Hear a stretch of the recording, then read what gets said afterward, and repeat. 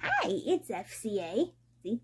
I am going to be sharing with you today, July 10th. It's Sunday, and I figured I would share with you what I do because I had surgery a couple weeks ago and um, I can't go up and down stairs. I can't put any pressure on my foot, and I haven't left the house except for my one doctor's appointment.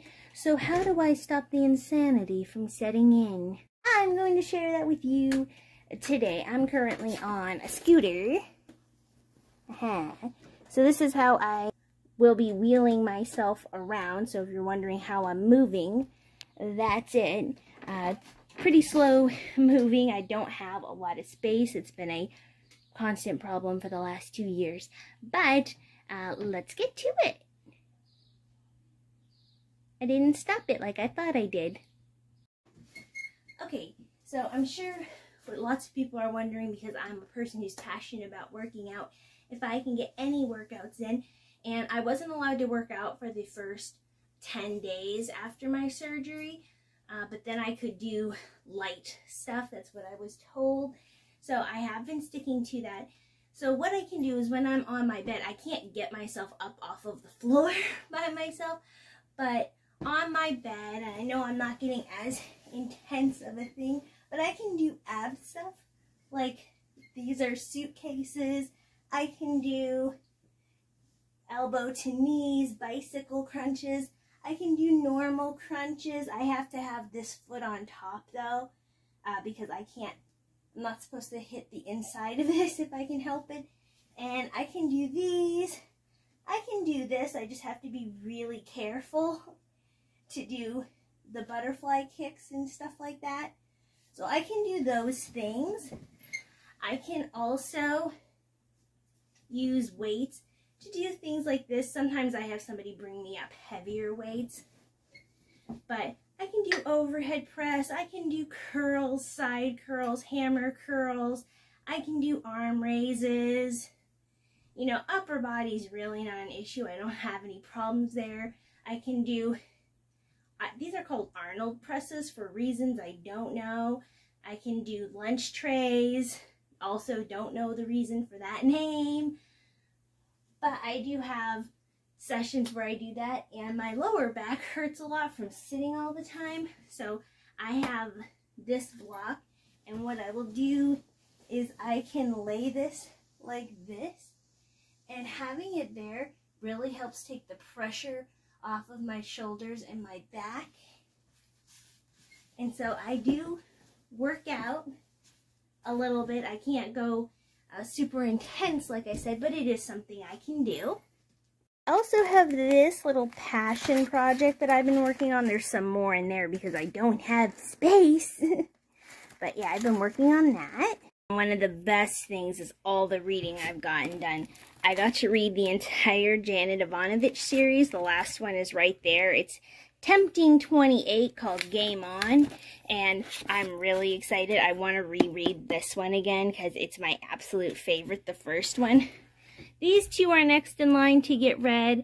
I read some of these comic books, that's why some of them look kind of askew, but these are the two books here. I'm currently working on this book um, called This. Started out okay, but I'm in the middle of it and I'm kind of just like, I'm struggling to get through it um, because it's weirdly written.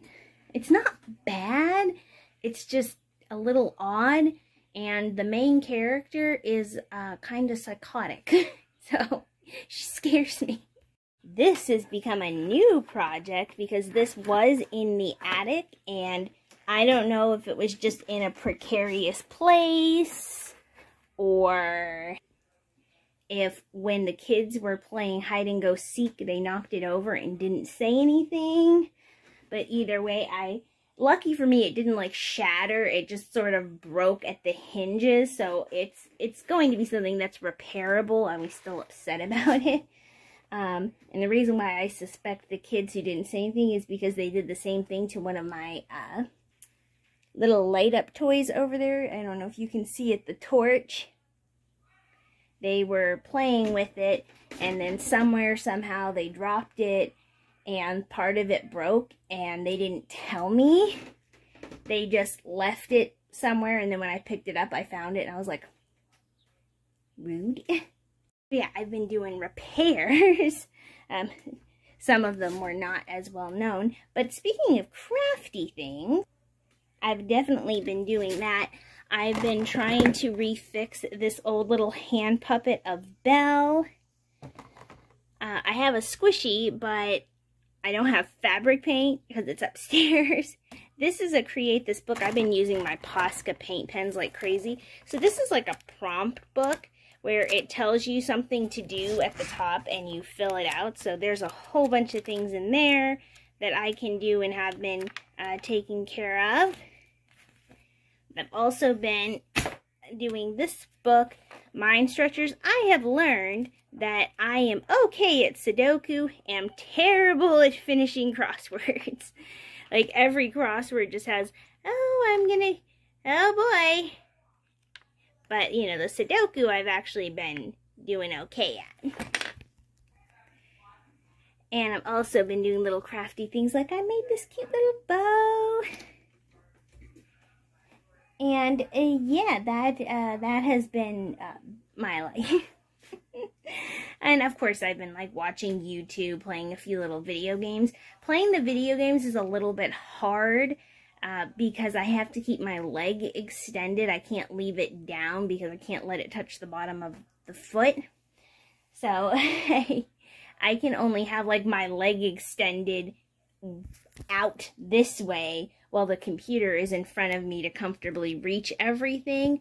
So I play for a little bit, but then I have to move it because I need to put my leg straight in front of me, and I can't do that with how the bottom of this is with where the wheels need to go.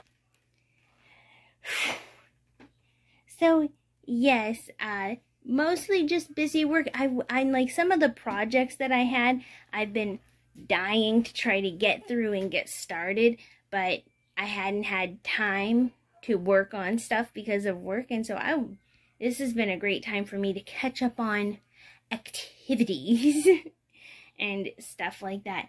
I'm still not ready to go back to work. I kind of dread it. um, yeah, it's, it had become toxic in the last few months and I don't think it's going to get better upon my return. So, that's what I've been doing. Uh, tell me what you do when you're kind of in a stuck at home, like what did you do during quarantine, or if you've had similar surgery kind of things, what did you get up to? You let me know, and I will talk to you next time.